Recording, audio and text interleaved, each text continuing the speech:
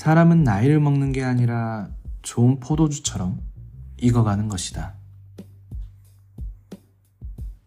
안녕하세요. 7월 18일 목요일 저녁 7시 루주루의 일상수집입니다. 이번 팟캐스트는 웬데 필립스가 말한 나이에 관한 이야기로 오프닝을 열어봤으며 늙어감에 대해서 이야기해보고자 합니다. 아버지를 통해서 부산에 계시는 둘째 아버지가 편찮으시다며 아버지께서 고모, 첫째 큰아버지, 큰어머니를 모시고 이번 주말에 부산에 다녀오신다는 이야기를 저에게 말씀하셨습니다.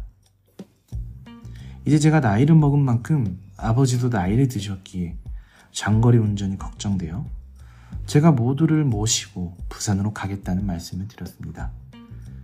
그렇게 어르신들을 모시고 1박 2일의 장거리 여행이 시작되었습니다.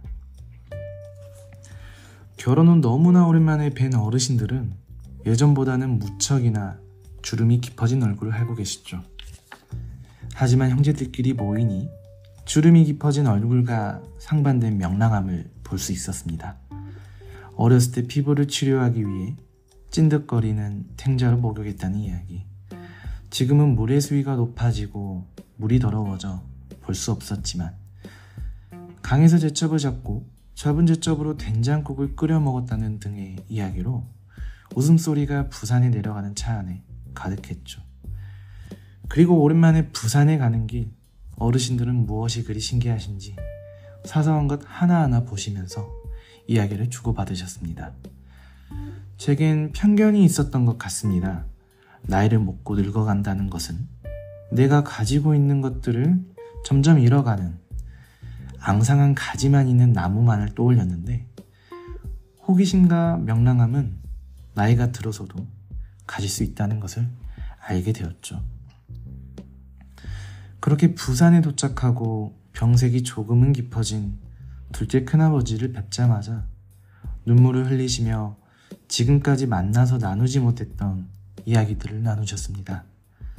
나누시는 이야기들은 모두 건강과 남은 생을 큰 욕심 부리지 않고 행복하게 살아가자는 이야기였죠. 희노애락이 가득했던 만남이 마무리되고 숙소에 모이신 어른들은 나이에 비례해 드셔야 할 약도 많아지셔서 약을 천천히 드시고 잠자리 드시게 되었습니다. 그리고 다음날 부산에서 올라가는 길에 운전을 하는 저에게 말씀을 하셨습니다. 급할 것이 없으니 천천히 어디서든 쉬었다 가자고요. 그리고 올라가는 길에는 어르신들은 일과 여유의 밸런스가 있는 삶을 추구하는 본인들의 루틴을 이야기했고 무엇이든 무리하지 말자고 이야기를 나누셨습니다. 아버지의 형제분들과의 이번 여행은 기대보다는 솔직히 걱정이 앞섰습니다. 나이가 지긋하신 분들의 컨디션에 맞게 운전을 하고 그분들의 취향에 맞추어 이동 경로를 정해야 했기 때문이죠.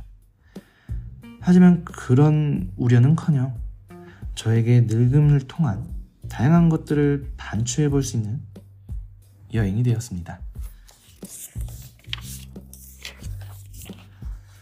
호기심과 명랑함은 세월이 흐른다고 해서 소멸하지 않기에 간직하도록 노력하길.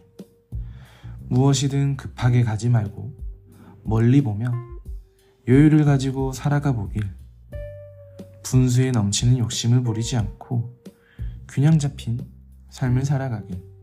그 무엇보다 건강이 중요하다는 것을 잊지 말길. 여러분들은 늙음에 대해서 생각을 해보셨나요?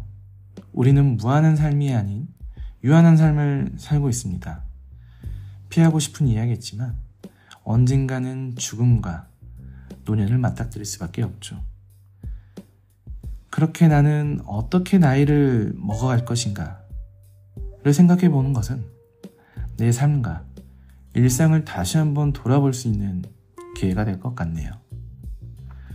오늘 루주루의 일상 소집 팟캐스트는 여기서 마치겠습니다. 오늘 당신의 일상은 따뜻하셨나요?